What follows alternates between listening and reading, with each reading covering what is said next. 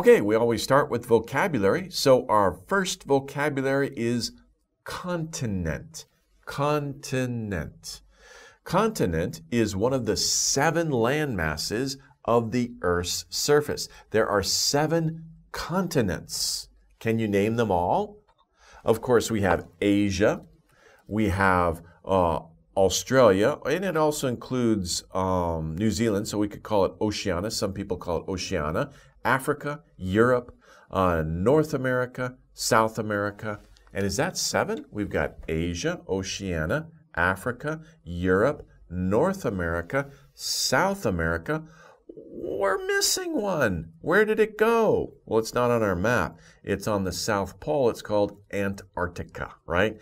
That is another huge landmass that is all along the bottom of your map if you look at your world map. It's not that big, of course.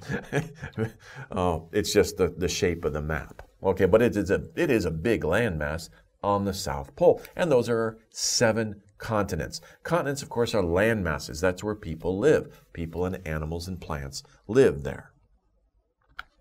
Layer. Now, a layer is a thickness of a material covering a surface. So think about your hand. There is a layer of skin on your hand, and the skin covers the entire surface of your hand. So skin is a layer.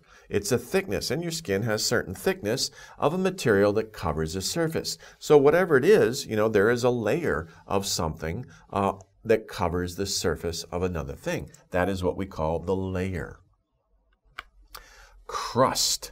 Crust is an interesting word, okay? Now, I'm not talking about bread, okay? If you bake bread, you have um, uh, the, the bread gets baked and it's soft in the middle, but it might be a little bit hard on the outside. It's a little bit browner on the outside, depending on how you cook your bread. If you cook it too long, it gets black. But anyway, the brown crust of your bread is the layer uh, around your bread. But the earth has a similar idea. The earth has a crust as well, and that's the top layer of the earth's surface. It's the outer part of the earth that covers the mantle. But the crust is really thick. Normally we talk about, you know, like the crust of bread is very thin, the layer of my skin over my hand is very thin, but the crust of the earth is very, very thick, especially in relation to us, human beings, right? But that is the crust. It is, in relation to the rest of the earth, it's kind of thin and it covers the mantle. Okay, we'll talk about mantle next. Mantle, of course, is underneath the crust. That's the inner part of the earth, and it covers the core. So basically, we're talking about three parts of the earth, right? We have the crust here, we have the mantle here, and then the core is here. And of course, the next one is core. Core, the center part of the earth. That's the middle of the earth. It's very hot. Nobody has ever been to the core. It's too deep. You can't you can't dig or drill that far underground. Nobody has ever done it. Uh, in fact, the most drills that have ever uh, been done have really just poked little holes in the crust. It's very difficult to hit to the core, except for certain places on the earth. Okay, but that is the, the we have the crust, we have the mantle, and we have the core. Those are the three main parts on the inside of the earth. Now, the next word is melt. If something is very, very hot, right, you turn it from a solid to a liquid. Now, you can turn rocks and metal that is very hard, and usually you think, you know, in, the winter it gets very cold, but you can heat it up so much that it can turn into a liquid. I used to work at a mining company, a gold mining company. And to get the gold from the ground and to make gold bars, they would heat the ore.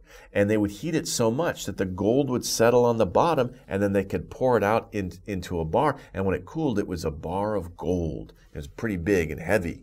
Okay? So you can melt almost anything from a solid to a liquid. Depth.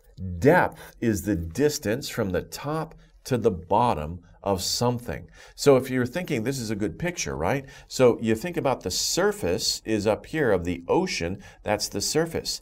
What is the depth? That is the distance from the from the layer of water on the surface to the bottom of the uh, of the ocean, the rock, how deep is that? What is the depth? We could also say, how deep is it? How deep? So we change the word a little bit. How deep is it? We change the word, how deep is it? And uh, that's an adjective, right? Deep. Um, and that would be depth is a noun.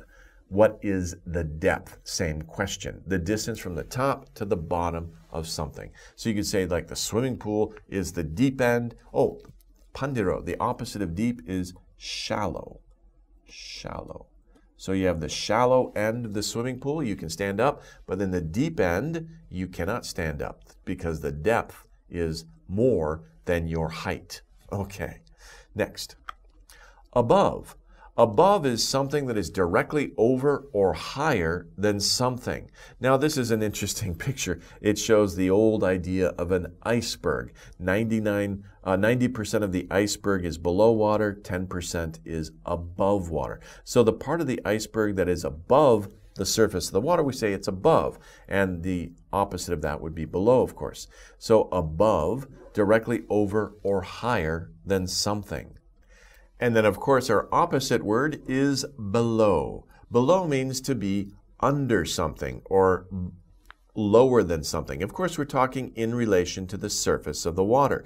So if it's under the surface of the water, it is below. And 90% of the iceberg is below the surface of the water. Now, if it's in this area, if it's over the surface of the water, it is above. Above and below, they are direct opposites.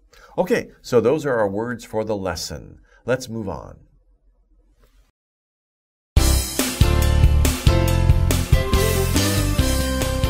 Lesson 6 Earth Structure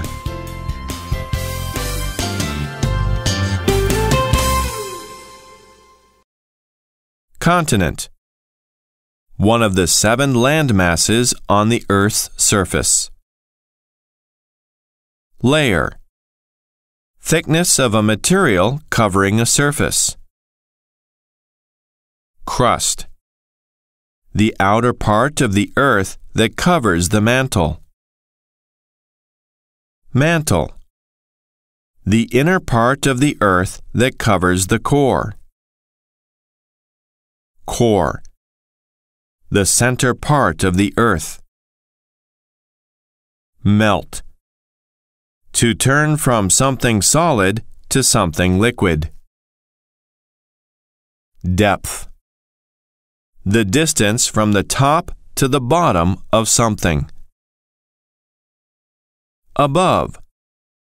Directly over or higher than something. Below. Directly under or lower than something.